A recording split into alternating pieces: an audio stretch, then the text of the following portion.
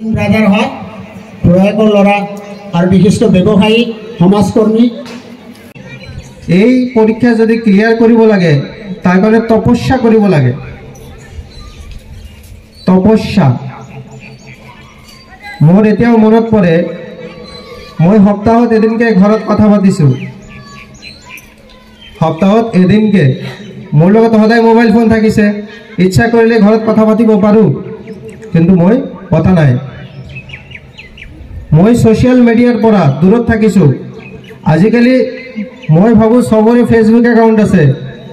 Instagram চলাই আছে চবেই। হোৱাটছএপত দিনে ৰাতি লাগি আছে। মই চববিলাকৰ পৰা কি আছিলোঁ? দূৰত আছিলোঁ। কাৰণ যদিও এই ডিজিটেল মিডিয়া বা প্লেটফৰ্ম যিখিনি আছে বহুত হেল্পফুল হয়। কিন্তু তাৰ প্ৰতি যদি আসক্তি বাঢ়ি যায় এডিকশ্যন হৈ যায় সেইটোৱে এটা নেগেটিভ ইম্পেক্ট কৰিব পাৰে।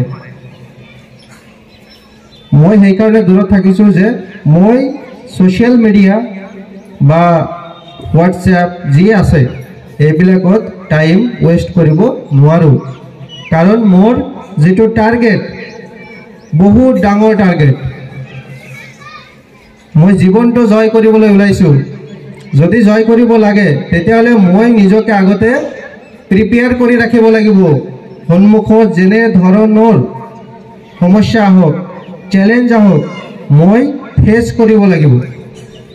সেইকাৰণে যিমান ডিষ্ট্ৰাকশ্যনছ আছে চববিলাকৰ পৰা মই দূৰত থাকিছোঁ। আমাৰ এই অঞ্চলত কি হৈ আছে যোৱা দুই বছৰ ধৰি মোৰ ওচৰত একো আপডেট নাই। আজি গণৰাজ্য দিৱসত বিশেষকৈ মোৰে ইণ্টেনশ্যন আছিলে যে আজিয়ে সভাটো হওক।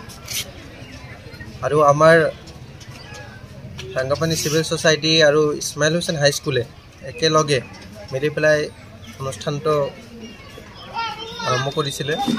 তাৰ কাৰণে মই নথৈ আনন্দিত হৈছোঁ। আৰু ইয়াতে উপস্থিত যিবিলাক ছাত্ৰ ছাত্ৰী আছিলে মই সকলোকে এটা বস্তুৱে আহ্বান জনাইছোঁ যে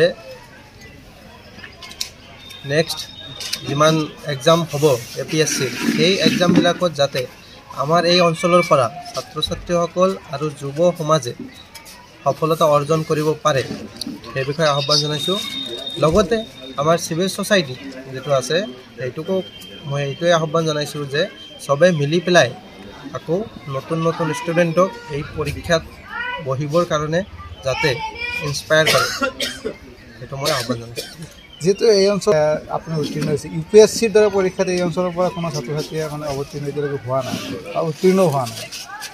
আপোনাৰ কিবা আশা আছে নেকি যে ইউ পি এছ চিৰ দৰে এটা পৰীক্ষাত অৱতীৰ্ণ হোৱা? একচুৱেলি মই ইউ পি এছ চিৰ কাৰণে প্ৰিপাৰেশ্যন আৰম্ভ কৰিছিলোঁ। যোৱা দুহেজাৰ তেইছৰ যিটো ইউ পি এছ চিৰ চি এছ চি পৰীক্ষা হৈছিলে সেইখনত মই প্ৰিলিমছ ক্লিয়াৰ কৰিছিলোঁ। মেইনছ পৰীক্ষাও দিছিলোঁ। মেইনছটো মোৰ ক্লিয়াৰ হোৱা নাছিলে। কিন্তু মোৰ ডাঙৰ সপোন সেইটোৱে আছে যে মই যাতে U P S C clear কৰিব পাৰোঁ। নেক্সট যিবিলাক এইবাৰো এটেম্প দিম যাতে তাতে সফল হ'ব পাৰোঁ আৰু লাগিলে মোৰ প্ৰিপাৰেশ্যন আৰু বঢ়াই যাম। যিমান পৰিশ্ৰম কৰিছোঁ আৰু পৰিশ্ৰম কৰিম যাতে মই সেইটো ক্ষেত্ৰতো সফল হ'ব পাৰোঁ। যিহেতু ডিজিটেল ইণ্ডিয়া ছ'চিয়েল মিডিয়াত লাগি থাকিলে মানে পৰীক্ষাত অৱতীৰ্ণ হোৱা বা উত্তীৰ্ণ হোৱাটো অসম্ভৱ হ'ব জানো? একচুৱেলি ছ'চিয়েল মিডিয়া যিখিনি আছে সেইখিনিৰ নেগেটিভটো আছে বাৰু কিন্তু তাৰ পজিটিভ বহুতখিনি আছে। যদি ছ'চিয়েল মিডিয়াখিনিক পজিটিভভাৱে ইউজ কৰিব পাৰে নিজৰ যি লিখা পঢ়া আছে বা পৰীক্ষা দিব লাগে সেইটো কেন্দ্ৰ কৰি যদি ছ'চিয়েল মিডিয়াখিনি ইউজ কৰে তেতিয়াহ'লে মই ভাবোঁ ছ'চিয়েল মিডিয়াই বহুত হেল্প কৰিব পাৰিব। যেনেকৈ মোক টুইটাৰে বহুত হেল্প কৰিছিলে। টুইটাৰত বহুত পেজ আছিলে যিবিলাক মই লাইক কৰি ৰাখিছিলোঁ। নতুন নতুন কিবা আপডেট আহিলে অসম চৰকাৰে হওক বা ভাৰত চৰকাৰৰ সেই বস্তুবিলাক মই তাৰ পৰা পঢ়িছিলোঁ। আৰু টুইটাৰে মোক বিশেষকৈ হেল্প কৰিছিলে মোৰ ইংলিছ ঠিক কৰিবৰ কাৰণে। এতিয়া আগতে আগৰ পৰাইতো অসমীয়া মিডিয়ামত পঢ়িছোঁ। ইংলিছত ইমান ভাল নাছিলোঁ। কিন্তু মোৰ ইংলিছ ভাল কৰাত টুইটাৰৰ এটা ডাঙৰ অৱদান আছে। ত' যদি ছ'চিয়েল মিডিয়াখিনি আমাৰ যুৱ প্ৰজন্মই ভালকৈ ইউজ কৰিব পাৰে তেতিয়াহ'লে এইটোৱে জীৱনত আগবাঢ়ি যোৱাত সহায় কৰিব পাৰিব।